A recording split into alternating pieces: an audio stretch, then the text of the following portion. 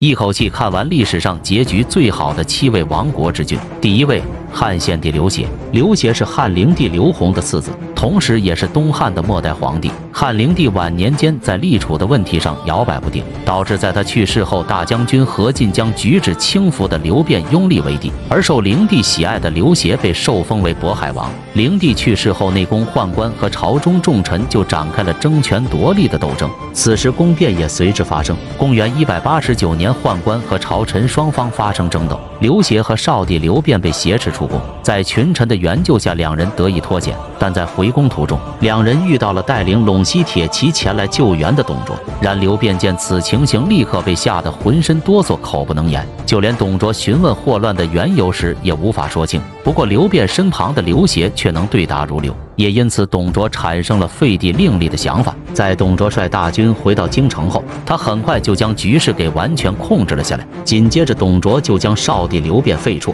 同时改立陈留王刘协为帝，是为汉献帝。从此，刘协就开始了他作为傀儡皇帝的漫长生涯。公元一百九十二年，王允和吕布密谋将董卓诛杀，虽然成功将其刺杀，但由于王允得手后的骄傲自满，导致董卓的部将再次攻入长安，控制东汉政权。公元一百九十六年，曹操控制了刘协后迁都许县，曹操也取得了挟天子以令诸侯的地位。公元二百二十年，曹操去世，其子曹丕承袭其位。不久后，曹丕就逼迫刘协禅让帝位给他。曹丕随即建立魏国，并登基称帝，而刘协也被贬为山阳公，居住在山阳城。远离政治的刘协一心想要融入民间。于是他涉足农桑，访贫问苦，同时还利用自己的医术和他的皇后曹氏一起悬壶济世。也因此，他虽然不再是皇帝，但也深受百姓的爱戴。公元二百三十四年，刘协寿终正寝之后，被魏明帝以汉天子的礼仪下葬。第二位。蜀汉后主刘禅，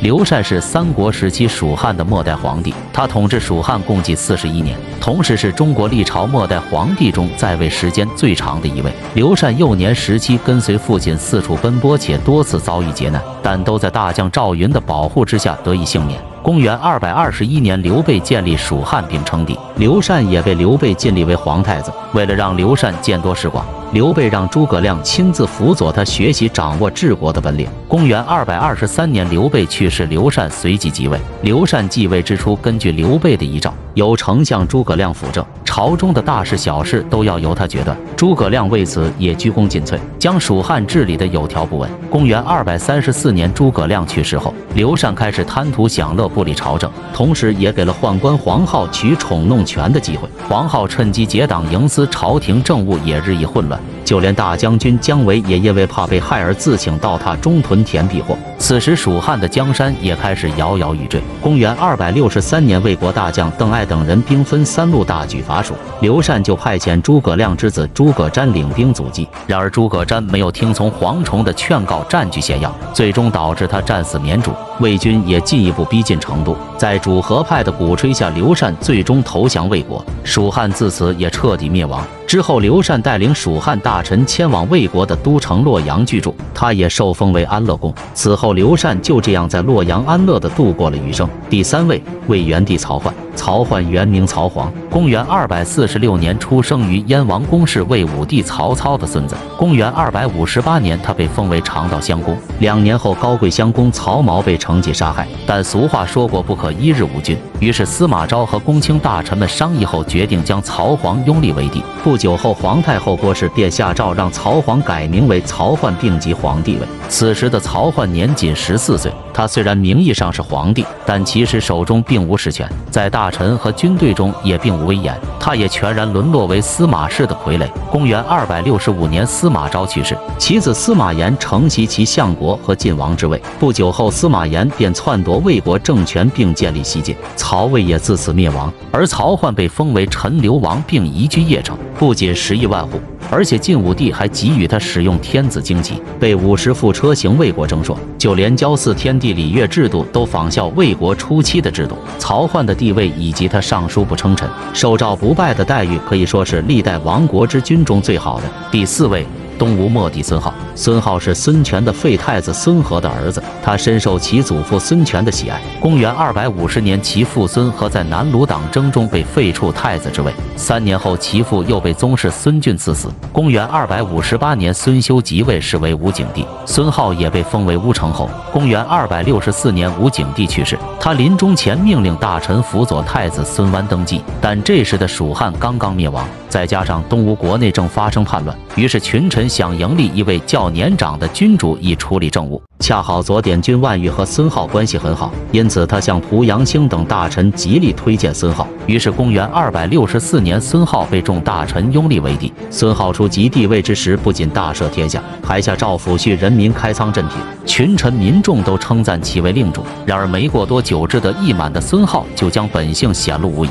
他暴虐治国，又好酒色，人民也都对他感到失望。公元二百八十年，西晋大军兵分六路伐吴，晋军一路势如破竹，而东吴的许多大臣见此情形，也因不满孙浩的统治，直接降晋。最终，孙浩也只能向晋军投降。孙浩归晋，并来到洛阳之后，也得到了司马炎的接见，但司马炎也并未将他诛杀，反倒将其封为归命侯，并让他闲居在洛阳。第五位。陈后主陈叔宝，陈叔宝是南朝陈的末代皇帝，他是陈宣帝陈顼的嫡长子。公元五百六十九年被陈宣帝立为皇太子，公元五百八十二年即皇帝位。不过在陈叔宝继位时，江北的中原大地就已经是隋文帝杨坚的了。但陈叔宝即位后，并没有想着怎样与隋朝对抗，反倒是荒废朝政，耽于酒色、最新诗文和音乐。经过隋文帝几年时间的经营，隋朝的实力越发强盛。于是公元五百八十。九年，隋文帝开始派兵大举南下，但由于陈叔宝的荒淫，导致隋朝大军兵临城下。这时的陈朝军队根本无力抵抗，于是隋军轻而易举的就攻入陈朝都城，并将陈叔宝掳走。陈朝也就此宣告覆灭，隋炀帝也终于统一了全国。不过，陈叔宝被掳至长安后，隋文帝也并没有杀他，反倒赐予他宅邸，并用丰厚的礼遇对待他。第六位，忠义王钱处。钱处是吴越国的末代国君。公元九百四十八年，钱处继承吴越国王位。他不仅继承了先帝留下的繁荣，也继承了留下的遗训。钱处即位后，励精图治，先是下令减免境内租税，然后将境内的荒田都给百姓耕种，同时兴修水利，休养生息，对吴越国百姓的生活产生了巨大影响。公元九百六十年，赵匡胤发动陈桥兵变，并建立北宋。随后，赵匡胤率军先后统一了荆南、武平、后蜀、南。汉等割据政权。公元九百七十四年，北宋出军讨伐南唐，南唐后主李煜也向钱处发出了援助信号。但钱处也意识到北宋的统一是历史的唯一走向，于是为了吴越国的百姓能够免受战争的困扰，他选择拒绝李煜的请求，同时出兵援助北宋消灭南唐。公元九百七十八年，前处奉宋太宗赵炯的旨意入边境，并自献封疆于北宋。此后，他先后被封为淮海国王、汉南国王和南阳国王。之后，他辞去国号，并被改封为许王，晋封为邓王。他也成为了最受百姓爱戴的亡国之君。第七位。北汉英武帝刘继元，刘继元是北汉睿宗刘钧的养子。北汉少主刘继恩在位时，刘继元时任太原尹。公元九百六十八年，宋军压境，且北汉国势日益窘困，北汉睿宗刘钧也为此情形十分忧愤，不久后便去世了。随后便由少主刘继恩即位。同年九月，刘继恩设宴大会群臣。宴会结束后，侯霸荣带领数十人将正在勤政阁休息的刘继恩杀死，同时将刘继元迎立为帝。刘继元当了北汉。皇帝后继续靠着辽的支持与北宋抗衡，并与之僵持了十余年。此时的北汉虽然危在旦夕，但朝廷内部的倾轧也并没有丝毫减少。刘继元即位不久就听信谗言，将大将郑进杀死。他还十分宠信宦官魏德贵，在魏德贵的挑拨下，刘继元又将大将李隐杀死。然而他的这一举动实则是在自毁长城，因为李隐是土浑军的统帅，而土浑军又是北汉军队的主力。统帅被杀之后，北汉。军心瓦解，北汉的灭灭亡也即将到来。公元九百七十九年，宋太宗集中兵力御驾亲征北汉。经过几个月的对战，北汉也走到了终点。刘继元在走投无路的情况下，只得派人把降表送给宋太宗。受降仪式结束后，宋太宗当即将刘继元晋封简教太师等职位，并且将京师甲第一区赐给他，每年还对他多加赏赐。于是降宋后的刘继元乐不思蜀，悠游岁月。最终于公元九百九十一年寿终正寝。